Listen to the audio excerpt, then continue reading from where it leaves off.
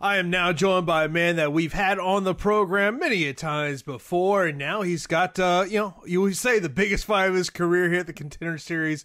Rico, man, as always, I, I appreciate time. I feel like it wasn't that long ago we were talking about your fight back in February, and the Contender Series got brought up. Was that kind of? Did you feel like that ultimately that win was going to lead to this opportunity? Not necessarily. I mean, I'm always, especially as of late, I've been trying to just focus on one fight at a time, you know, and really make sure that I only focus on one fight at a time because you never really know what's going on, especially nowadays where, you know, fighters are pulled all over the world. There's so many different people, so many athletes, you know what I mean? I just try to keep it simple, work hard, get better, win fights. You know, that's pretty much it. And of course, uh, you got that win back back in February at CES 48. Uh, you know, overall, how, how do you assess your performance in that fight?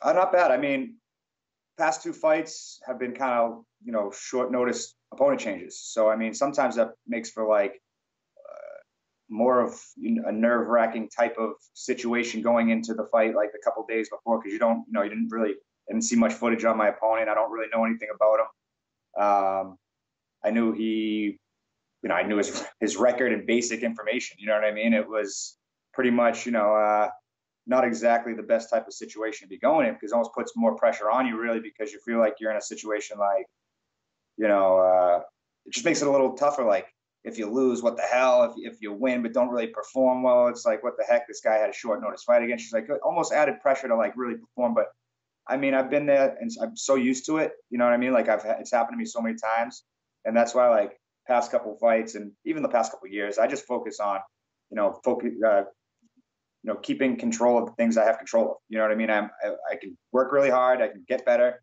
and I can do my best to win. And that's really all I try to focus on. Everything else, you know, it is what it is.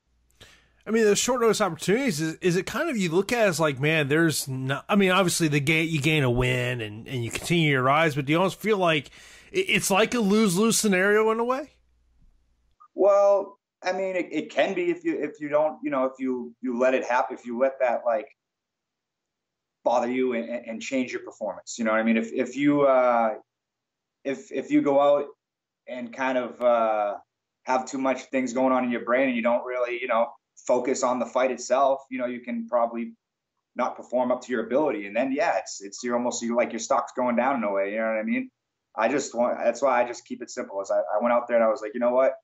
I'm just gonna do what I do. I'm gonna do my best to finish this dude and put on a show doing it. And you know what I mean? At the end of the day, that's really all I gotta do. If I can put on a show, finish fights, win fights, doesn't matter who was in there. You know what I mean? That's all I gotta focus on, really. Just finish fights and, and get the W, and that's it. Things will things will uh, you know I'll climb the ladder. You know.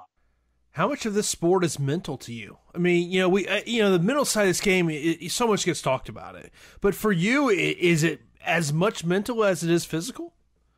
Oh, absolutely, absolutely. I mean, um,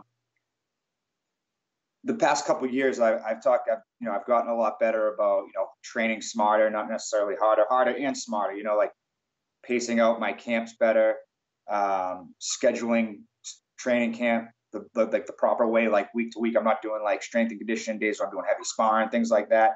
And like the mental game going into a fight is huge. So when you align, when you do your best to set everything up to make it go as smooth as possible and, and be prepared for when it doesn't go smooth because it never usually does you know what i mean but that's the big that's the mental game is always knowing that you know just being able to overcome whatever little obstacles there are.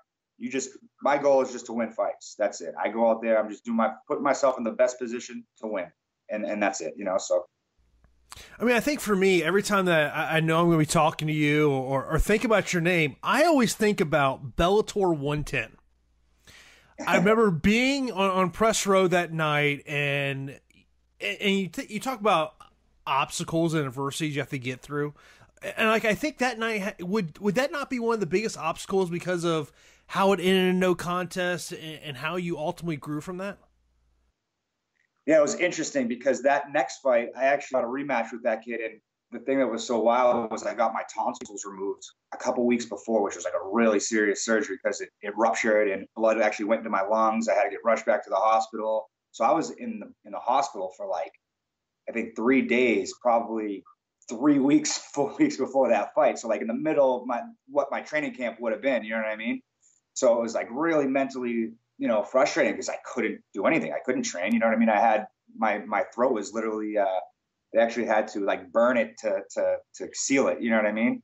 And it was dreadful, man. I was on my couch, just miserable and and worrying about shit. I got to get back in the gym. I have the biggest fight of my life coming. I got to get back. But um, I've always gone through crazy things in my training camps. I broke my nose like on my the very last sparring day, like of at least two or three times. I've done I've gone through things where like I'm always prepared. It's almost we have like a joke in my gym. Like I used to get sinus infections and things like that from like just overworking and just I have a history of it.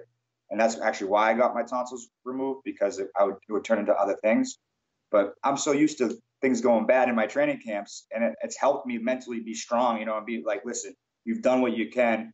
You know, let's just focus on you know the fight, and everything will go as planned. You can't freak out. You know, you got to really just calm your, you know, your mental. You know, you oh, I got to be in the gym right now. I got to be doing. I've been in the gym for years. It's like a couple days missing ain't gonna change too too much. You know what I mean? Yeah, you got to be in shape. You got to be doing this, but at the end of the day, I've been doing this for so long. You know, it's how you can translate what you do day in day out over the years into that cage for the fight. You know, for fight night. And that's a big. That's the. Um, that's a big deal. You know.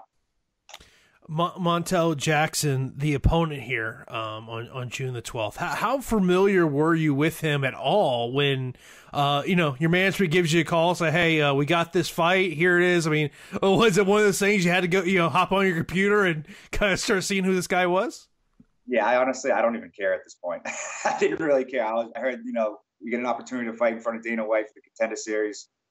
I didn't care who they, you know, what the opponent was. He didn't even. I don't even think he told me at first. I didn't care he was like talking about. I was like, I don't care, man. I'm, you know, let's go, let's do it, whatever, blah blah. I was ready, you know. And it's funny because if this happened probably two years ago, I probably would. I definitely would have accepted it. I definitely would have, but I don't think I'd be this comfortable with the whole situation. I don't think I'd be as like. Uh, I'm just I'm I'm enjoying it. You know, I'm not really so nervous and so freaked out. I remember like like you said for Bellator that fight where I got had the no contest. I remember almost like puking in my mouth the next fight I had because I was so nervous because the whole thing that went. I was like, I remember being like, I've never been that nervous coming into a fight. I ended up doing good, you know, I won the fight, whatever. But first couple, you know, first couple minutes as the fight started, I remember just being like, you know, a, a shell kind of. I was really, really nervous. And the past couple of fights, it's almost been like I've been so calm and I was like, wait a minute, is this am I too calm or is this good? And it's it's been good. I feel very very relaxed, you know, and I'm I feel like it's going to only get better and better and better, especially with the contender series not being like your average type of style of fighting. You know what I mean? It's not as many people there. It's a different crowd, different atmosphere, different style. So I think that my my past um, experiences will definitely benefit me in this fight. Yeah, I mean, I think that's one of the most interesting thing is, I mean, you're just in a gym and there's probably less than 100 people. If you count all the production people whatnot that that are in that venue um, and you're gonna be able to hear everything your coaches say which you know maybe or maybe not depending on the venue you're able to hear that. I mean have you thought about like what that's going to be like? And maybe talk to some of the other northeast fighters have already gone through this to kind of you know see what you can expect you know on june the 12th yeah for sure i um you know i've actually got the opportunity to, to corner um a couple people in the UFC, and I've also, you know, I've I've fought from the last two fights have been on C uh, AXS TV, so I like building up to the fight itself. I feel like um, not only fight night but fight week, like all the process of like while you're cutting weight, the media things you got to do, and everything else you got to do while you're trying to make weight. I think I'm I'm going to be more prepared than I would have been because I've been there and done that kind of. I've been with people that have done it, you know. And um, for fight night, for the most part, I, yeah, I, I, you know I've talked to a couple guys that have been on like Greg Rebello's been on the show before. He's gone through it. You know what I mean? So he told me like kind of what it's like. Um, they also are fighting. It's the fight happens in the Tough House, the the, the house where they have uh, the Tough Enough, um, you know, show. So we are, you know, I people in my gym that are familiar with you know that place and how you know, like you said, it's you know, it's a different atmosphere. It's not your average fight with you know fans going crazy. This is very you know only like probably about 100 people, like you said. So it's a different, you know, di- different atmosphere. But I'm I'm already ready for it. You know, I'm already prepared because, like you said, I've we've already had these these talks. You know what I mean? And you, you do have the experience advantage in, in this fight with you know only having five pro fights. I mean, do you do you look at, at that as a you know a you know you know an advantage for you in this fight, or is that something that just gets overblown? No, experience is definitely always a you know everybody's different, you know, but uh, you can't go wrong with experience. You know what I mean? It, that's probably that's the best teacher. You know what I mean? I it's funny because I think this will be my 26th or 27th fight with amateur and pro, like to get you know combined. And it's like I feel like I'm just getting started. I'm just starting to get comfortable. You know what I mean? I'm just starting to like realize, okay, see the, the changes of how I how I am in the locker room getting ready, and like you know, I've done it over and over and over, but it, it's still it, it you know MMA and, and fighting in general. Like when you're you're training to fight somebody that's training to fight you, you know, it's not exact, it, and it's all this build up for that one day. You know, how do you prep yourself for that one day? And I'm getting a lot better at it. You know, I'm getting a lot more comfortable with the whole thing, and I feel like you know I'm, I'm just really getting started, and I, I'm I'm excited to see how I progress from here because I'm starting to put it all together. A word you mentioned there, comfortable. Do you remember when the first fight you had where you felt comfortable in there? Like, okay, this is what I do. Let's just go. I mean, you know, because some guys say it takes a long time for you to kind of feel comfortable with it. For you, was it a long time coming? Well, my first, my, my I think my first five amateur fights were first round finishes within like two minutes, not even. You know what I mean? So I never really got that experience of time in the cage. You know what I mean? So that's why I kept fighting amateur. I wanted to get decisions. I wanted to like at least go the distance. I wanted to see what it'd be like to fight late in the third round, you know, things like that. And um, so I got some really good experience down in Florida. I fought for a Rise of the Warrior tournament, and um, I got a little bit longer rounds with one of the kids who was just a wrestler. I thought he was, you know, really, really heavy, you know, grunt wrestler, and I did a really good job just picking him apart and being patient. I remember like halfway through the first round, just really starting to settle down and be like, all right, this kid, I'm stuffing every one of his takedowns and I'm just putting it on him, and it's only a matter of time till I till I, I finish him one way or the other. And I did. I got the, you know, I got the uh, got that guillotine because he just fell into a single leg, and I just yoked him up after just peppering him up the whole fight.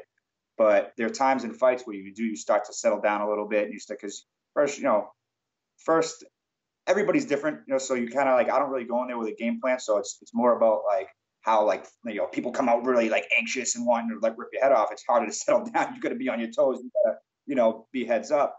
But as the fight develops and as it goes on, you know it, it starts to you know it starts to settle and it gets more technical and it starts to become more of a thinking you know um, chess match in a way. You know, so it all depends on the fight.